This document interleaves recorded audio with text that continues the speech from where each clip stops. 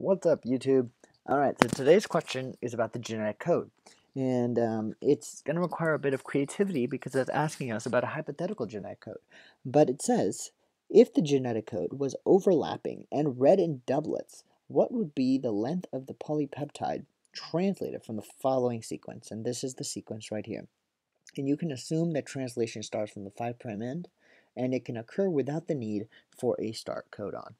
So first of all, when I say genetic code, what am I referring to? The genetic code um, is the code that we use to go from DNA uh, to protein. And obviously there's an mRNA in the middle, but basically the genetic code tells us um, what sequences in the DNA will give us certain proteins. And that's important because proteins make up life.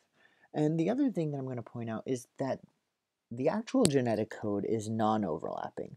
So so there's no overlap in the non in the actual genetic code and it happens in triplets. So if there's anything you take out of this, please remember that the, John, the actual genetic code is non-overlapping and happens in triplets. So what I mean by that is, let's say you have an mRNA with the following sequence.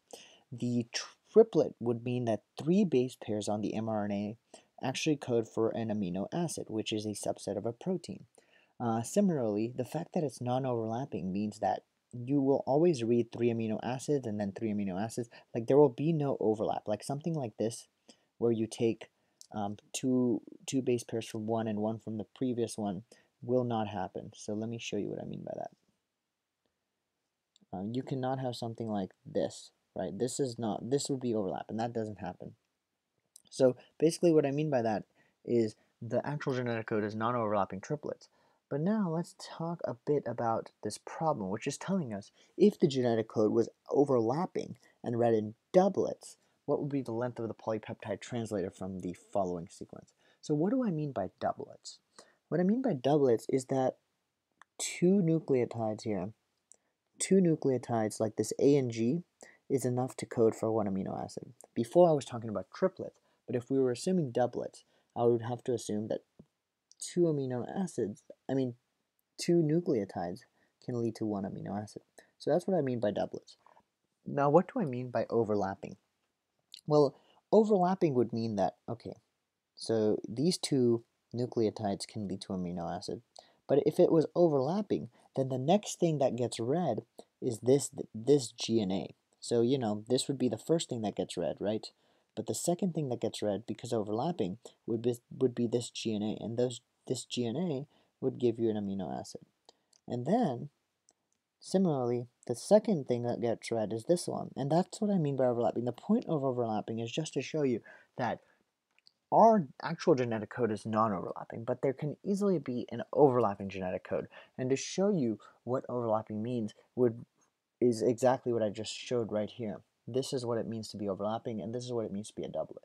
So just remember, there could be many different permutations of this question. I could have easily asked like quadruplet, or I could ask over, or I could have asked non-overlapping. But this was kind of to show you what I mean overall when I say overlapping or non-overlapping, or doublets versus triplets. So now, given that I showed you guys what I mean by doublets and overlapping, let's apply it to this question. Let's apply the fact that we have a doublet code and the fact that the doublet code is overlapping. How many amino acids um, can we get out, assuming that we have overlap and doublets? Well, let's start. Let's do it. So assuming we start from the 5' end, this AG will be our first amino acid, right? Now, where's our second amino acid? Well, if it's overlapping, this it's going to be this GA. That's going to be our second amino acid.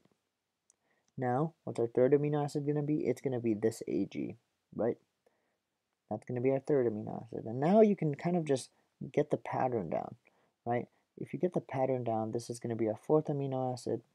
Similarly, this will be our fifth amino acid. This will be our sixth, because again, remember, we're doing overlapping doublets. Overlapping doublets will mean that we have overlap and their doublets. This will be another amino acid right here, this AG. I'm, I'm circling every now and then so you know what I'm referring to. And last but not least, we're going to have this bad boy, GA, which is going to be our last amino acid. So if you now count the number of amino acids we have, we have 1, 2, 3, 4, 5, 6, 7, 8.